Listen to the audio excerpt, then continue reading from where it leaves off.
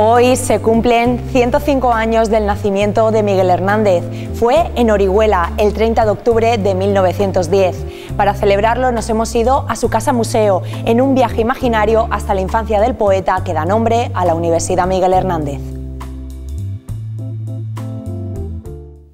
Bienvenidos una semana más a Noticias UMH. Hoy, además de celebrar el cumpleaños del poeta, también les contaremos cómo ha arrancado el programa Iris para que todos los miembros de la Universidad Miguel Hernández aprendan inglés gratis y en horario lectivo o laboral. Empezamos.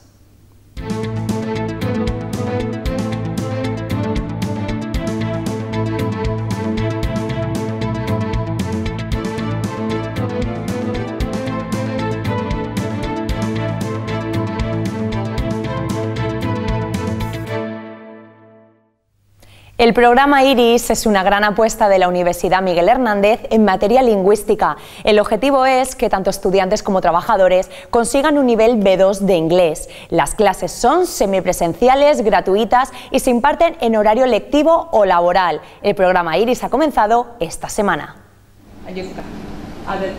En este aula del grado en Administración y Dirección de Empresas han cambiado la macroeconomía por el inglés. Es el primer día de clase del programa IRIS, el plan de formación en inglés que ha puesto en marcha este curso la Universidad Miguel Hernández. El objetivo es que todos los estudiantes acaben sus carreras con un nivel B2 de inglés. Hay cuatro niveles de dificultad y las clases son semipresenciales, una hora presencial en el aula y tres horas semanales de trabajo en casa. Lo que se trata es que del alumno, desde casa, pueda practicar todas aquellas habilidades eh, como son el listening, reading, eh, vocabulario. Y luego las clases presenciales, lo que se va a trabajar más es en los tips, eh, las ayudas al writing y en el speaking. Al finalizar todos los niveles del programa IRIS, el estudiante realizará el examen del certificado B2 de Cambridge título que podrá convalidar por 12 créditos de la titulación que esté cursando en la UMH. Esta iniciativa ha tenido muy buena acogida entre los alumnos. Sobre todo para aprender y poder visitar otros países. O sea, el nivel que hay en España, por suerte por desgracia es el que hay, no es muy bueno, pero ojalá mejore con, con el tiempo y nos pongamos al nivel de las otras comunidades europeas.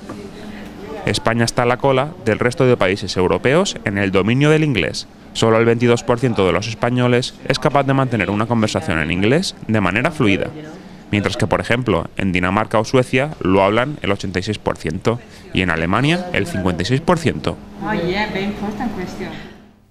94 litros de sangre que servirán para abastecer a todos los hospitales de la provincia de Alicante durante más de una semana. Este ha sido el resultado de la maratón de donación de sangre que se realizó la semana pasada aquí en la Universidad Miguel Hernández en el campus de Elche.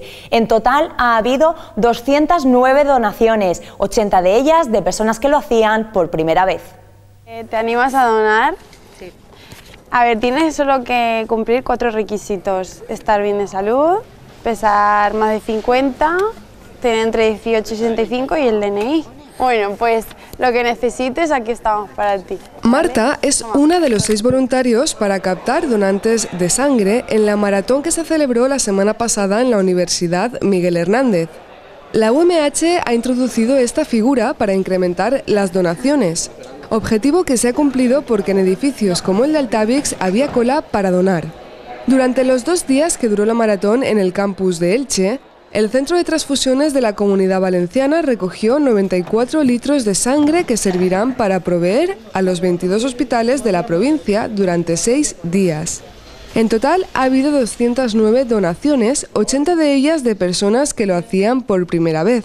Me lo esperaba peor. Al principio pues duele un poco con la, el pinchazo, pero luego es normal, pasas 10 minutos y ya está.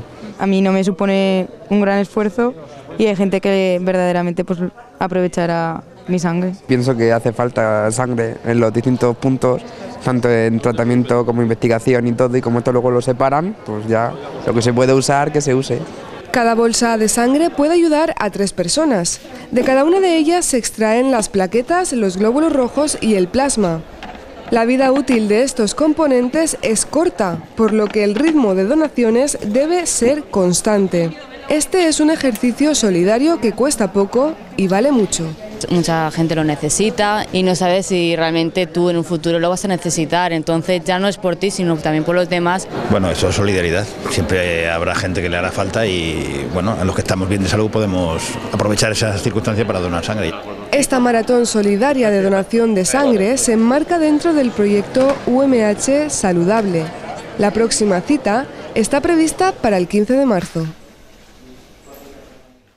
La Universidad Miguel Hernández tiene una nueva cátedra institucional, la Cátedra San Crispín del Calzado. Se rinde así homenaje al sector zapatero, uno de los principales motores económicos de la ciudad de Elche.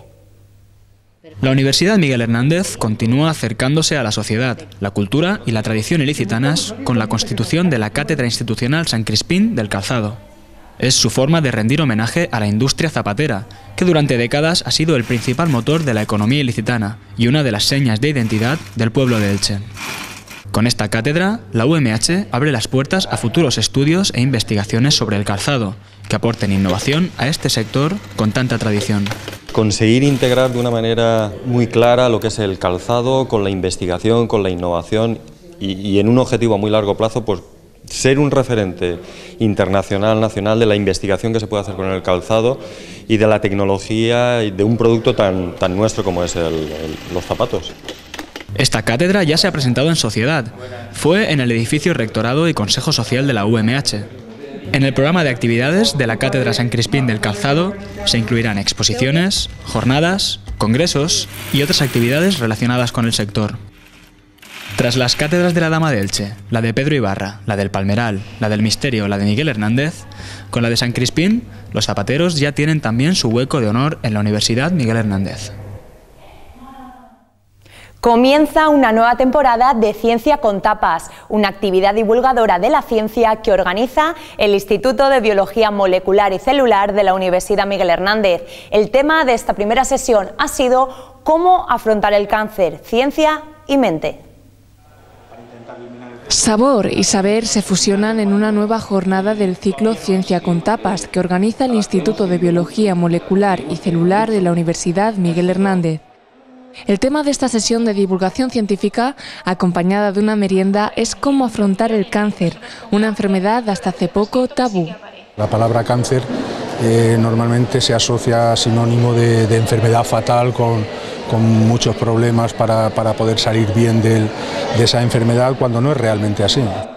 Aunque no hay recetas únicas, los expertos consideran que la mejor forma de enfrentar un cáncer es una actitud proactiva. Es mejor un estilo de, eh, de, afrontamiento proactivo, es decir, búsqueda de información pero justa, no excesiva, justa la que necesito, el no delegar, sino tomar las decisiones tú mismo y el eh, afrontar de una manera como muy abierta hablando del tema. Sabemos que eso en general es lo mejor. Mientras el público degustaba montaditos y refrescos, aprendían también dos de las líneas de investigación que la UMH tiene sobre el cáncer. Una para comprender cómo y por qué se genera y otra sobre la nanotecnología para minimizar los efectos secundarios de la medicación. Hoy en día somos capaces de hacer nanocápsulas donde podemos meter el medicamento dentro y decorar esas cápsulas con señales específicas que reconocen el tumor. Por tanto, esas cápsulas van a estar dirigidas a interaccionar con el tumor, evitando la interacción con el resto de tejidos sanos. Esta ha sido la primera sesión de este curso, pero ya se están preparando más charlas en ciencia con tapas. Así que no se lo piensen y acérquense a saborear la ciencia. El día que nació Miguel Hernández era domingo, el domingo 30 de octubre de 1910.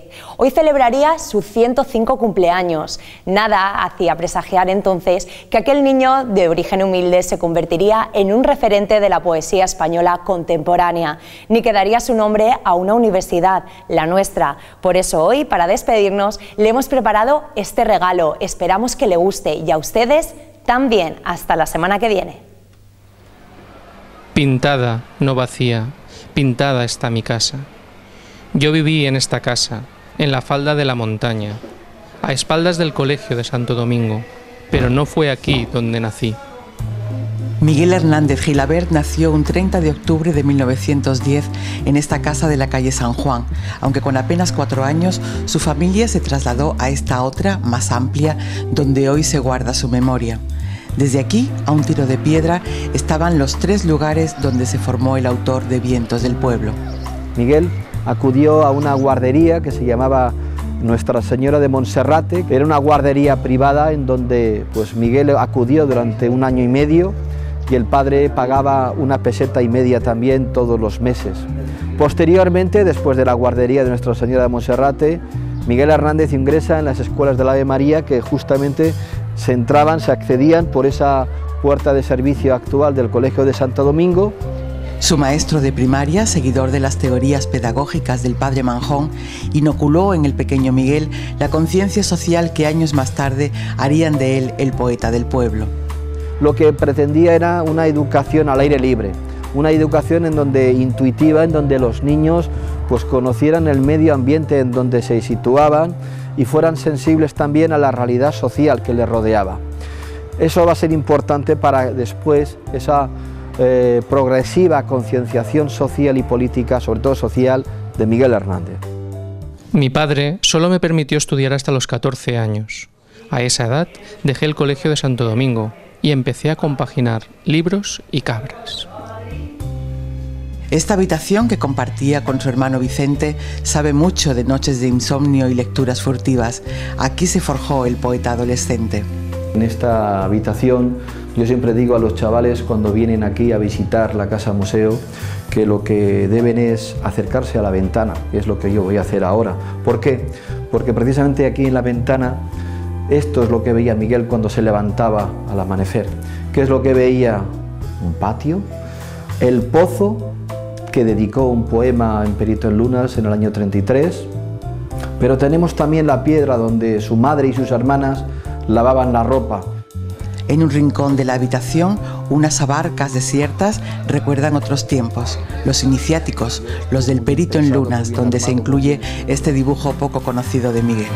Bueno, aquí tenemos el Perito en Lunas, la primera edición del año 33, fue el primer libro de Miguel Hernández, se hizo una tirada de 300 ejemplares, costó 425 pesetas pero a Miguel ya no le bastaba el pozo, ni la higuera, ni su amigo Ramón Sigé.